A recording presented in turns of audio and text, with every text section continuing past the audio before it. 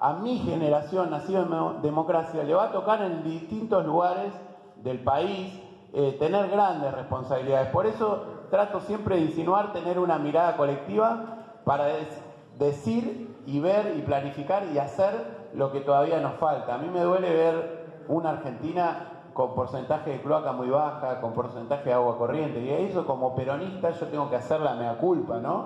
Me parece que es momento donde todos tenemos que ver lo que está en juego. Y lo que está en juego, que es muy importante, el tema de los presos políticos, pero para mí más importante que los presos políticos es la realidad que vive cada uno de los argentinos y argentinas, que ya no lo sostienen, que se están resignando. Yo creo en la política porque vi desde la política cómo transformamos José Cepaz está la Universidad Nacional con 15.000 alumnos, una universidad en el conurbano. Solo a Cristina y a Néstor se le hubiera ocurrido, todo el mundo se reía y hoy tenemos los primeros abogados, hijos de no profesionales, orgullosos de la universidad pública.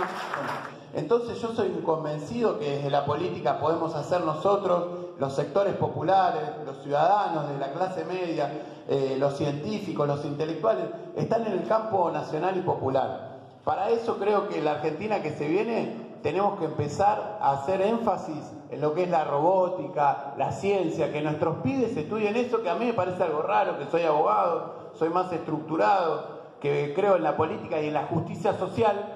Y al Alberto se le reía cuando hablaba del wifi, de las nuevas tecnologías, pero la verdad es la agenda que se viene del medio ambiente, porque si no tenemos presidentes como Macri que van a India o a Estados Unidos y le muestran un limón a Trump o al presidente de India y le dicen tenemos limones para vos. Y ellos nos traen, cuando mandamos 20 camiones de limones de exportación, nos traen un camión con estos aparatitos que ya vale 100 veces más. Entonces la balanza comercial siempre es déficit para nosotros.